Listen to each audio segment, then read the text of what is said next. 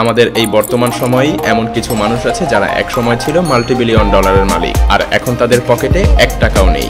এমন অনেক সেলিব্রিটি আছে যাদের একসময় এতটাই জনপ্রিয়তা ছিল যে তারা ফ্যানদেরকে অটোগ্রাফ দেওয়ার ভয়ে পালিয়ে বেড়াতো।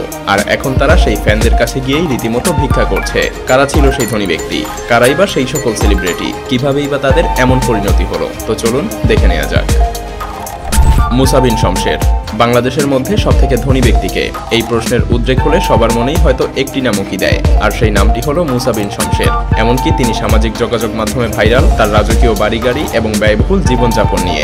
কয়েক বছর আগে দুর্নীতি দমন কমিশনের এক প্রশ্নের জবাবে তিনি বলেছিলেন, সুইস ব্যাংকে তার নাকি বিরাশি বিলিয়ন ডলার রয়েছে। সেই সাথে রয়েছে তিন লক্ষ একর জমি। তিনি নাকি বাংলাদেশের দ্বিতীয় পদ্মা সেতুও নিজে একাই তৈরি করতে চেয়েছিলেন।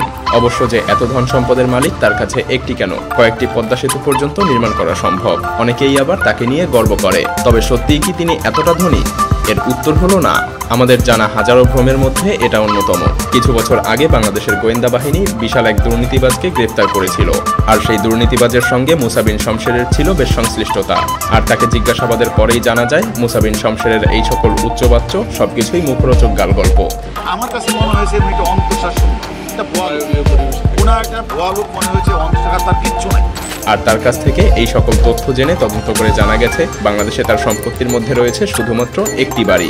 সেই বাড়িটাও কিনা তার স্ত্রীর নামে। তার একটা বাড়ি রয়েছে গুলশানে এইটটি ফোর নাম্বার রোডে। এটাও তার স্ত্রীর নামে। বাংলাদেশে এছাড়া তার নামে আর কোনো কিছু আমরা পাই নাই। আদৌ তার নামে কোনো সম্পত্তি আছে কিনা তা এখন পর্যন্ত বাংলাদেশের গোয়েন্দারা খুঁজে বের করতে পারেনি।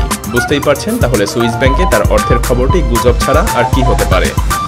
আলী আকবর। নব্বই দশকের প্রায় সবাই হয়তো শিল্পী আকবরের গানগুলো মনে করতে পারবেন, কারণ সেই সময়টাতে বাংলাদেশের প্রতিটি অলিতে গলিতে তোমার হাত পাখার বাতাসে সত্যি সত্যিই যেন সবার প্রাণ জড়িয়ে দিয়েছিল। রিক্সা চালক থেকে বাংলাদেশের জনপ্রিয় টিভি অনুষ্ঠান ইত্যাদির মাধ্যমে উঠে এসেছিল শিল্পী আকবর।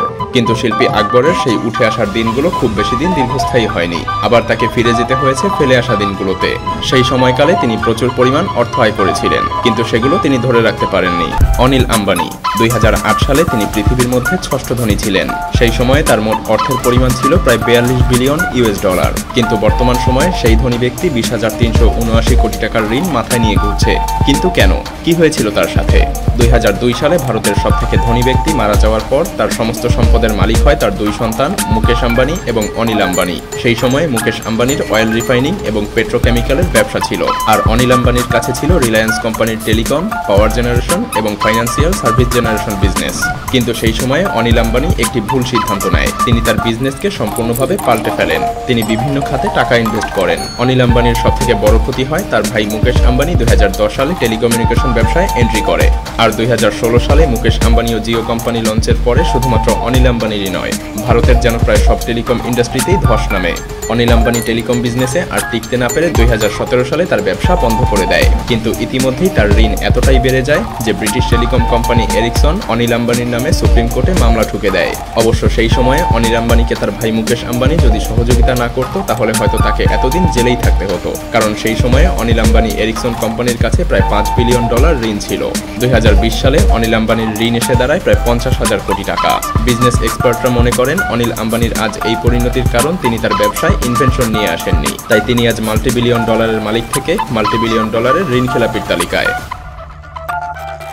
ডেন বিলজেরিয়ান ডেল বিলজেরিয়ানের বিলাসবহুল লাইফস্টাইলের জন্য তাকে কে না চেনে। তিনি তার জীবদ্দশায় কত মিলিয়ন ডলার যে ব্যয় করেছে, তার হিসেব হয়তো তিনি নিজেও জানেন না। এমনকি তিনি হয়তো এটাও জানেন না যে তিনি কত মেয়ের সঙ্গে শারীরিক সম্পর্ক করেছেন। সোশ্যাল মিডিয়াতে তিনি বেশ অ্যাক্টিভ থাকেন। প্রতিনিয়ত তিনি তার বিলাসবহুল লাইফস্টাইলের ছবি পোস্ট করে থাকেন। আর এ দেখেই বিশ্ববাসী মনে করে, হয়তো তিনি বিলিয়ন ডলারের মালিক। কিন্তু সম্প্রতি তার কিছু কর্মকাণ্ডে তার বিলিয়ন ডলারের উৎস বেরিয়ে এসেছে। তিনি একসময় প্রায় পনেরোশো কোটি টাকার মালিক ছিলেন। কিন্তু কি এমন কর্মকাণ্ডের কারণে তাকে প্রায় তিনশো চুয়াত্তর কোটি টাকার ঋণ পরিশোধ করতে হচ্ছে। আর কেনই বা তার বিলাসবহুল লাইফস্টাইল থেকে তাকে বেরিয়ে আসতে হয়েছে। প্রথমেই বলে নেই, তার বাবার রেখে যাওয়া একটি কোম্পানি আছে। সেই কোম্পানিটির নাম ইগনাইট তবে সেই কোম্পানিটির মালিক কেবলমাত্র তিনি একা নন, কারণ কোম্পানিটির রয়েছে হাজার হাজার শেয়ার হোল্ডার এবং ইনভেস্টর তার ব্যক্তিগত অ্যাকাউন্টে তেমন কোনো অর্থই ছিল না। তাহলে তিনি কীভাবে এত পরিমাণ টাকা ব্যয় করে বিলাসবহুল লাইফস্টাইল উপভোগ করেন? মূলত তিনি তার সেই কোম্পানিকে বলতেন, তার বিলাসবহুল লাইফস্টাইলের মাধ্যমে তিনি তার কোম্পানির মার্কেটিং করছেন। কারণ তিনি তার ব্যবহার্য প্রতিটি জিনিসপত্রে তার কোম্পানির লোগো ব্যবহার করতেন। কিন্তু এতে করে কোম্পানিটির আয়ের চাইতে ডেন বিলজেরিয়ানের মাধ্যমে যেন ব্যয়ের পরিমাণটাই বেশি হচ্ছিল। প্রথম দিকে তিনি তার বিলাসবহুল গাড়ি বাড়ি দিয়ে শো অফ করতেন। এগুলো সব তার নিজের বলে দাবি করতেন। অথচ সেগুলো সব ছিল তার ভাড়া নেওয়া জিনিসপত্র। আর সেই সকল কিছু তিনি ভাড়া নিতেন সেই কোম্পানির টাকা দিয়েই। এমনকি ডেন বিলজেরিয়ানের ইনস্টাগ্রাম অ্যাকাউন্ট বুস্ট করার জন্য সেই কোম্পানিটি প্রতি মাসে হাজার হাজার ডলার ব্যয় করত। আর এ কারণেই তার কোম্পানিটি এতদিনে প্রায় নিঃস্ব হয়ে গিয়েছে। ফলাফল একসময় যিনি পুরো পৃথিবী জুড়ে বিলাসবহুল জীবনযাপনে বিখ্যাত ছিলেন, তিনি আজ ব্যাংক্রাফ্টের হাত থেকে বাঁচার জন্য অর্থের পিছনে ছুটে চলেছেন। এবার চলুন আমরা দেখে আসি বাংলা সিনেমায় দাপটের সঙ্গে অভিনয় করা এমন কিছু অভিনয় শিল্পীদেরকে, যাদেরকে আপনি এখন পরিচয় না করিয়ে দিলে চিনতেই পারবেন না। মাটির ময়না সিনেমায় অভিনয় করে শিশু শিল্পী হিসেবে তিনি পেয়েছিলেন জাতীয় চলচ্চিত্র পুরস্কার। সেই স্মৃতিগুলোর কথা মনে পড়লে এখনও যেন তার চোখ টলমল করে ওঠে। কিন্তু ভাগ্যের নির্মম পরিহাসে দেশ জুড়ে খ্যাতি পাওয়া নুরুল ইসলাম বাবলুকে এখন আর কেউ চিনতেই পারে না। তিনি তো এখন ছোট্ট একটি মুদি দোকানে চা বিক্রি করেন। এখন তাকে অপেক্ষা করতে হয় ক্রেতাদের জন্য। আমার পরিবার ছিল আমার কাছে। পরিবারকে আমার বাড়িতে আমি কীভাবে রাখব? নিজেই তো চলতে পারি সামনে যে পারব তার কোনো নিশ্চয়তা পাচ্ছি না। নব্বই দশকের জনপ্রিয় নায়িকা বনশ্রী। তিনি অনেক জনপ্রিয় সিনেমাতে অভিনয় করেছেন। তিনি যেমন পেয়েছিলেন জনপ্রিয়তা, তেমনি মালিক হয়েছিলেন সব আলিশান বাড়ি গাড়ির কিন্তু ভাগ্যের নির্মম পরিহাসে পাল্টে যায় দৃশ্যপট। পরিচিত এবং আপনজনের বিশ্বাসঘাতকতাতেই তার নাকি আজ এই পরিস্থিতি। একসময় তাকে দেখতে ভিড় করত হাজারো মানুষ। এখন তাকে হাজারো মানুষের কাছে ছুটে বেড়াতে হয় বই বিক্রি করার জন্য। সেই সাথে তিনি বয়ে বেড়াচ্ছেন বেশ কয়েকটি মরণ ব্যাধি। ভাগ্যের নির্মম পরিহাসে একসময়ের আবেদনময়ী নায়িকার আজ এই পরিণতি হয়েছে।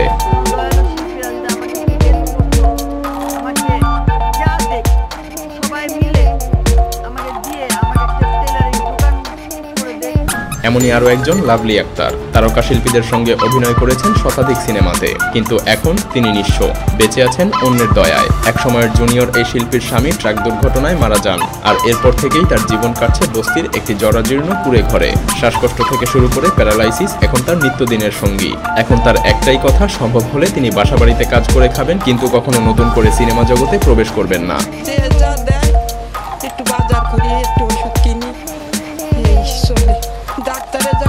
কয় পাবো কনে। আমি বাসা বাড়িতে কাজ করে খাব।